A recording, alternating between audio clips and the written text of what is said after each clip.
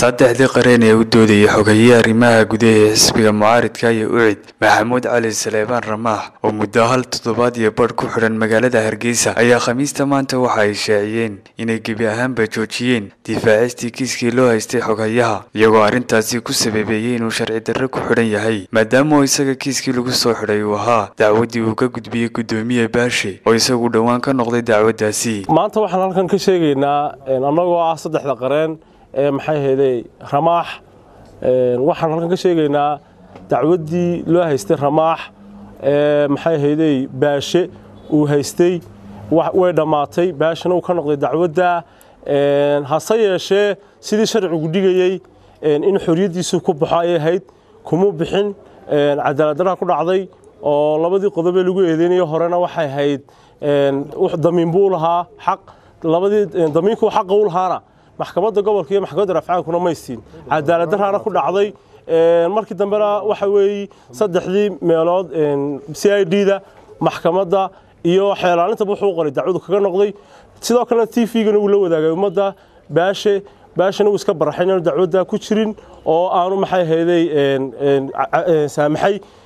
Hase yeeshee sharcigu wuxuu dhigay marka halkaa taagan tahay in xoriyaddiisi loo celiyo nasiib daro cadaaladdarra ku dhacday muu helin xoriyaddiisii waxa weeye wax alle wuxuu ku xidhan yahay ma garanano maxay hayday qof qof soo dacweeyey oo aanu qaran markii hore lagu soo eedayn oo lagu soo eedeeyey qof baa ku haysta waxa ku haysta guddoomiyaha baashe. Baashana uu ka noqday dacwaddii qaran muu haysan eedihiisii horena waxay ahayd labadaa qodob ee maxay baasha ku soo dacweeyey. Hase yeeshee ninkani muu gelin kiis qaranka la daba qaado laakiin ninkan shaksiya shaksi bay isdacweynayeen. Dacwaddiisu way soo afjarantay wayna xidhantay.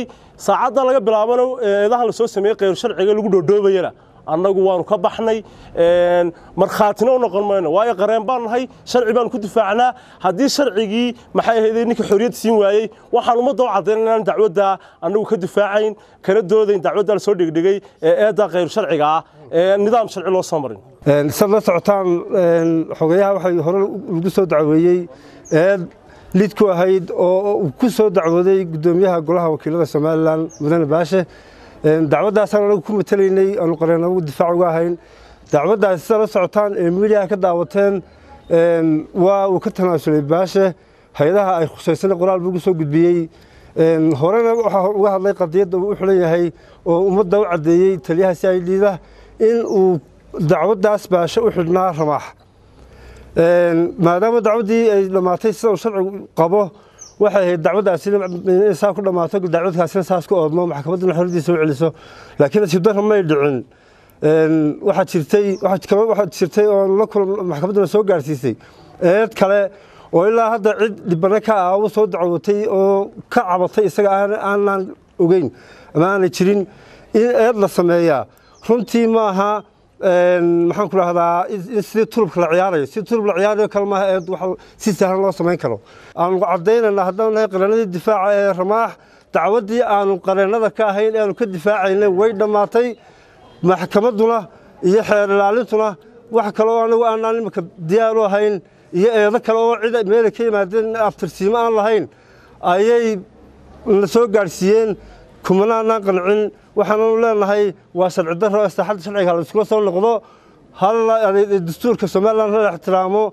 Caanu somalilan oo qaadatay nidaamka dimuqraadiyadda siduu uga hirgelay annagu ma garanayno sababtoo ah madaxweynuhu mar kasta oo hadlayo sarraynta sharciga ee ku dhaqanka xeerka ayuu ka hadlaa.